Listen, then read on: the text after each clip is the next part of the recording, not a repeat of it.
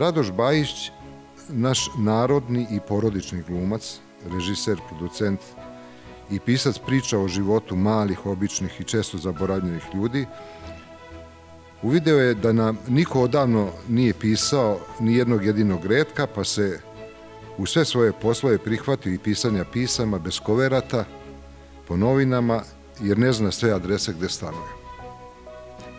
I piše nam 15 godina obaveštavajući nas o prilikama i neprilikama, uspesima i padovima, napuštenoj i zapuštenoj zemlji, koju je kao režiser često da bi bila lepša, onakva kako mi je Bog stvorio, sam čistio. I u tim pismima pita se i pita nas koja je to naša zemlja danas, da li su to opustešena sela, varoši i mali gradovi, da li je to zemlja koja je svake godine sve malobrojne i sve starija, da li su to umorni ljudi koji su se nadali nečem boljem. Zadovoljstvo mi je da budem domaćin dragom gostu i njegovoj lekovitoj knjizi koja se zove Samo je Morava večna. Jedna jako lepa knjiga. Hvala vam.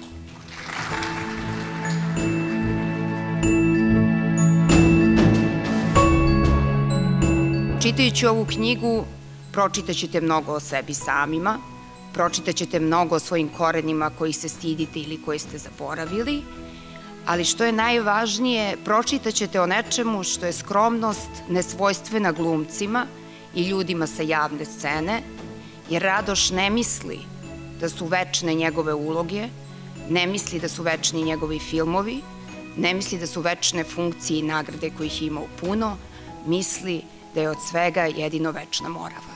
Muka je bila urediti ovu knjigu. Znate. Puno je bilo tekstova koje je bilo teško odbaciti. Puno je bilo onoga što je važno ostaviti nekakvim pokoljenjima koje dolaze nakon nas, jer će nas po ovome tumačiti. I taj sentiment prema Srbiji koju poznaje Radoš Bajić i koju ja, kako sam već napomenuo, na sebi svojsten način volim, iako je, nisam baš dobro razumeo, iako sam poderao opanke, idući po Srbiji, kako se to popularno kaže, jeste u stvari nešto što je objašnjava, što definiše jedan lični stav prema svojoj životnoj misiji i odgovornosti, međutim, sa druge strane, mnogo bolje i direktnije objašnjava sve ono što podrazumeva taj, taj put ka večnom.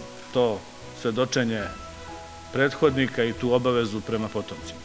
Budući da je Radoš Bajić da kako sa ovom knjigom pokazao da je pisac, savjetovao bi mu da malo pojača piće, jer pisci ipak malo više piju nego što je običajeno, a on ipak je umeren u svemu, osim u svojim tekstovima. Hvala vam.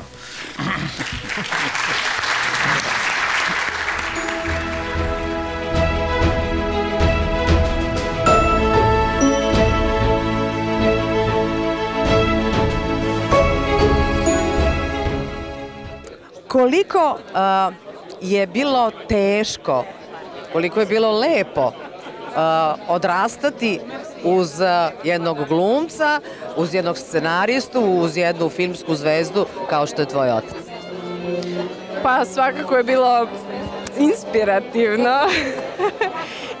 Prolazili smo razne faze i razne periode, ali to stvaralaštvo je nekako uvek oko nas i to je nešto što i nas čini e, kreativnijim i budi maštu i budi, da kažem, otvara perspektivu ka nekom svetu koji ne postoji, koji postoji samo negde u nama samima, tako da zaista čast mi je bila da mi je, eto, e, i zadovoljstvo da... A i primio da, se Pelcer malo i na da, tebe, ne pa malo, mnogo. Ne, ne bih sad o tome, ali da, ovaj, da, da sam rasla uz takvog oca, a i takvu majku.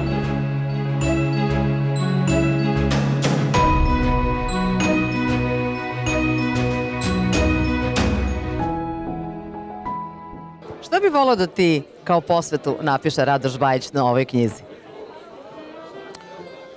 A, pa, ja mislim da je sama knjiga posveta. Upravo to je ono što je posebno kod ove knjige. E, sama knjiga je praktično svedočanstvo, to jeste jedan njegov uh, uh, osvrt na sve ono što nam se dešava i na, na uopšte stanje u našem društvu. Ovaj, sama ta knjiga je jedna, jedna, jedna posveta, jedno svedočanstvo, e, e, jedan podsjetnik šta je to što ovaj, propuštamo, šta je to što zaboravljamo. E, Knjiga Samo je Morava večna je jedan, da tako kažem, zbirka e, mojih odabranih e, autorskih tekstova koje ja objavljujem poslednjih 15 i više godina u našim najeminentnim dnevnim listovima u politici, blicu i u večernjim novostima. To je neka vrsta svedočanstva jednom vremenu u kome mi živimo, u kojima su teme mojih promišljenja, znači m, prošlost, sadašnjost i budućnost našeg naroda, njih običaj, folklor, znači krucijalna pitanja o budućnosti i opstanku našeg naroda. Ima tekstova u kojima ja hvalim, ima u kojima kudim, ali jednom reču, znači, na neki način sama činjenica da je jedan ozbiljan izdavač, kakav je službeni glasnik, da je prihvatio da štampa jedan ovakav e, jednu ovakvu knjigu, govori o jednoj trajnoj vrednosti ove knjige. I u svakom slučaju ovo je danas jedan divan dan, jedan lep dan, a on je samim tim i lepši kada ja mogu da dam intervju Suzani Mančić, pa to je... Kada si u Suzanin izbor. A smislila sam jedno pitanje. Samo je Morava večna. A, jel to fil, a, ima filozofski značaj, politički Nema ili, politički, ili ne, emotivni? ne, nema nikakav politički značaj. Samo je Morava večno opredeljuje zapravo večno sa, s jedne strane, a s druge strane prolaznost svakog života. Znači, Morava je svedok, to je jedno svedočanstvo o tome da, da, nismo, da, da, da, da nismo najvažniji. To znači da, da, da su najvažnije neke druge stvari koje traju mnogo duže od nas. To govori o tome da mi smo trenutno samo na ovome svetu. A s druge strane, znači pogotovo Morava, on ima jedan poetsku dimenziju, on ima jednu snagu neverovatnu, znači i Morava u srpskom jeziku nije samo, nisu samo tri reke. Imate, imamo zapadnu, imamo ovaj, južnu, imamo veliku. Morava je praktično, ona ima jedan sinonim, jedno mitsko značenje u srpskom narodu. Morava je opstanak.